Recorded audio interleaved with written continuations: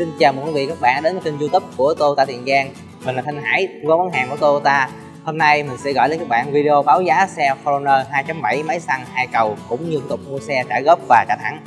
Nhắc tới Forerunner thì ai cũng biết đây là một chiếc xe SUV gầm cao, đa dụng mạnh mẽ và đặc biệt là rất bền bỉ cho nên được quý khách hàng chọn làm xe gia đình.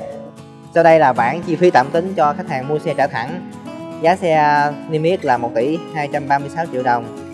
Phí trước bạ tạm tính là 123 triệu 600 ngàn đồng. Phí cấp biển số là 1 triệu đồng.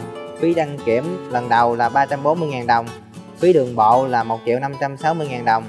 Phí trách nhiệm nhân sự là 950 ngàn đồng. Như vậy tổng tiền cần mua khi mua tiền mặt là 1 tỷ 363 triệu 450 ngàn đồng.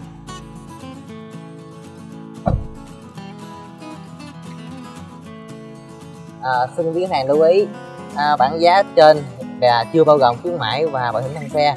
Chính vì vậy để nhận được bảo giá chi tiết khách hàng vui lòng gọi đến hotline của tôi tại thời Giang để được tư vấn hỗ trợ.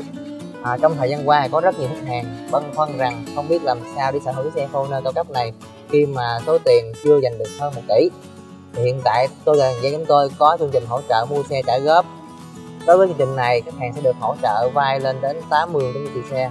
Thì à, với sách này khách hàng chỉ cần chuẩn bị 375 triệu đồng là theo thẻ năng bánh và đặc biệt, với hỗ trợ mua góp thì khách hàng sẽ được có thời gian vay lên đến 7 năm với mức lãi suất ưu đãi theo thời gian. Đây là bản chi phí tạm tính cho khách hàng mua xe trả góp.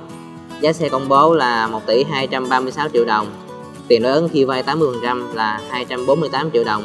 Phí trước bạ là 123 triệu 600 ngàn đồng. Phí đăng ký biển số là 1 triệu đồng. Phí đăng kiểm lần đầu là 340 ngàn đồng. Phí đường bộ là 1 triệu 560 ngàn đồng. Phí trách nhiệm nhân sự là 950 ngàn đồng. Vậy tổng tiền cần mua khi uh, mua trả góp là 375 triệu 450 ngàn đồng. Để nhận được giá chi tiết về khoản vay khách hàng vui lòng comment bên dưới để được tư vấn. Đối với khách hàng uh, chưa mình nhập được thì khách hàng hãy liên hệ trực tiếp chúng tôi để được hỗ trợ. À, Vậy thì để mua xe góp khách hàng cần chuẩn bị giấy tờ gì? Đối với cá nhân khách hàng chuẩn bị chứng minh dân, hộ chiếu, sổ hộ khẩu, giấy đăng ký kết hôn hoặc giấy độc thân nếu có, hợp đồng lao động và sao kê 3 tháng lương gần nhất còn đối với công ty tổ chức thì quý khách hàng chuẩn bị giấy phép kinh doanh giấy thành lập doanh nghiệp biên bản hoạt động thành viên vốn điều lệ công ty báo cáo thuế hoặc báo cáo tài chính 3 tháng gần nhất và một số hợp đồng kinh tế quên đầu ra đầu vào 3 tháng gần nhất. Với sách hỗ trợ của xe góp thì Toyota Tiền Giang hy vọng rằng quý khách hàng sẽ dễ dàng hơn trong việc sở hữu chiếc xe mong muốn của mình. Để nhận, nhận được những video tiếp theo quý khách hàng vui lòng đăng ký kênh chúng tôi để tiện theo dõi. Xin cảm ơn xin chào và hẹn gặp lại trong những video tiếp theo.